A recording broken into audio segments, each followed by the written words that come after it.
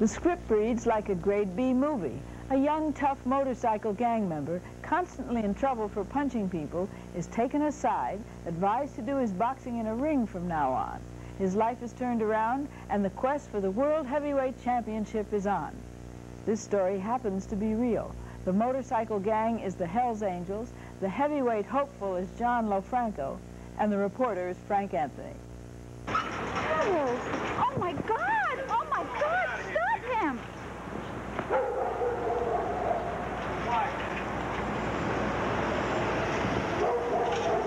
That's life on the block, you know what I'm saying?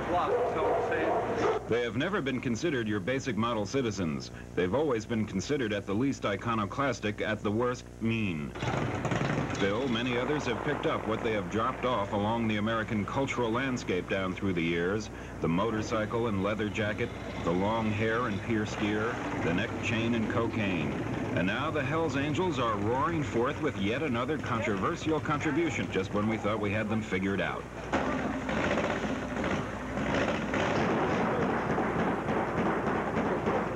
His name is John LoFranco. To Charter Brothers across America and Europe, he is John the Baptist. He is a six foot, two inch, 210 pound amateur heavyweight boxer heading for the pros. And through him, we have an opportunity to learn more about two worlds of violence, boxing and the Hells Angels, only one of which is disciplined. We do quite a few other things, you know.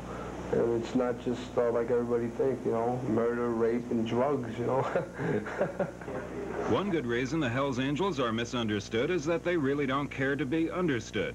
To an outsider, training for the Golden Gloves is a lifestyle tending more towards the monastic than the motorcycle. it's not a problem because uh, Hells Angels don't have a set lifestyle, you know, like so many people have a stereotype to be.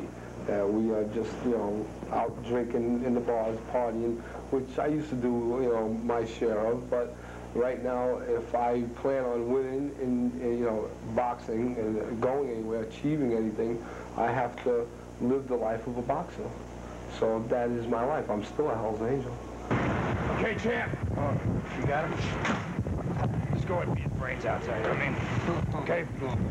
Good luck, you know what I mean? I know you're gonna beat this guy bad.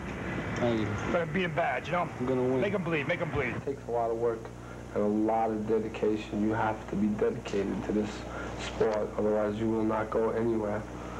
John LoFranco? Yeah, right there.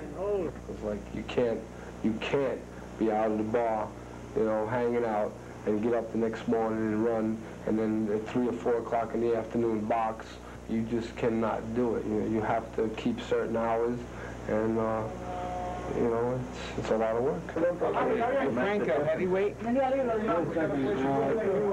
I've been in lots of barroom brawls. I am notorious for bars. 208 and a half, see the doctor.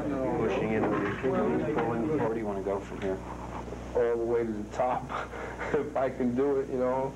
Uh, uh, you know, everybody wants to be there. You know, if you're if you're into boxing, everyone wants that. You know. What did you look like when you went there? Eight years ago, I fought with two ponytails. I wouldn't cut my hair. You know, and I wanted to go Olympics, and I didn't cut took me out of it. But you know, like uh, there's a lot of a lot of things going on there. And things have changed for the best now. There's a lot of uh, prejudice or undercurrents or whatever. Now it's easier. But as long as the fighter wins, it always makes it easier. Heavyweight sub-novice. Who you fight, Johnny? Ben. Uh, is, is that, it ain't that dude that, that Tall black guy. they, oh, ain't the guy they favorite? No. Gonna win, John? Yes, I'm gonna win. Yes, sir. I think I take him. I take him. No problem. I like Come on, John. Boxing is a thing where your body and your mind becomes very clean. I'm healthy. I feel good. You know, I just feel good. Let's go. Come on.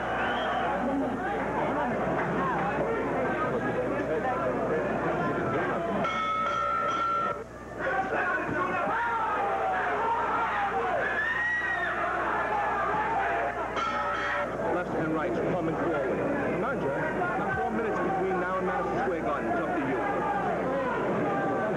You let them smother you when you grab them. Come on, punch as you come. Come on.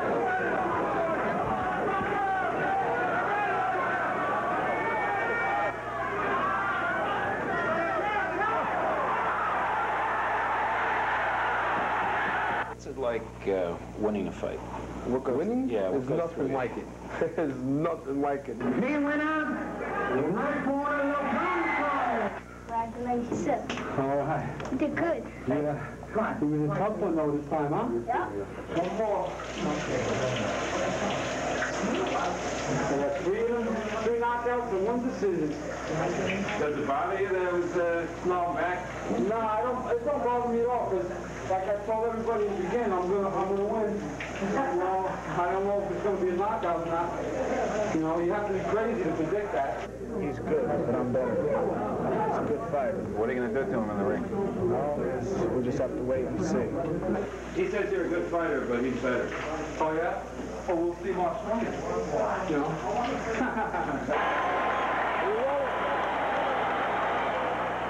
Tonight, beneath the hot lights and 19,000 fans, the balloon did not burst, but it certainly lost a lot of air. So did John's stomach and ego. After four victories, including three knockouts, the pride of the Angels would get off to a slow start, get clobbered in the second round by his Brooklyn Karting Company opponent, who looked and hit a lot like a young Marciano, and then come back to nearly knock out his opponent, but alas, too late. The sub-novice heavyweight champion is Sinelli. And as the bell sounded, and as the winner was announced, and as the hand was raised, one fighter had one eye closed, the other held his head high in victory and to keep the blood in his nose. I lost there, you know, like, I said, wow, they're not going to raise my hand. It made me only want to fight more. What does some of the pros say about your future in boxing? Well, after the fight, Jerry Cooney came up to Chuck and uh, he told him, he says, hey, you know, tell tell your brother that uh, he's a good fighter and that he should keep on, you know, keep on fighting. And that made me feel good. I Yeah, it's got definitely- I felt good after that, you know. I said, even though I lost the fight, when he told me that, it just, you know, it makes you feel good when somebody of his caliber, you know, could see in you good, you know, that you're good. Do any of the fellas say uh, John's no fun anymore, or uh, wouldn't they dare not? Uh... no, they, they always, they, a, a few of them kid me about, you know, having a drink every once in a while. But then I just remind them and I say, hey, you don't want me to really drink now, do you? so overall, for your uh, future, it's a heck of a lot better to do your uh, punching in the ring. oh, yeah. I agree, yeah. I agree with you. It's, uh, I think you get, you get more out of it, too, you know. No, you don't get arrested as often. That's for sure. That's for sure. Lofranco has been scouted by the U.S. Olympic Committee, but he is 25 and anxious to turn pro. The motorcycle rides these days are short and rare, the training sessions long and grueling. How do you feel, John? Great. This is Frank.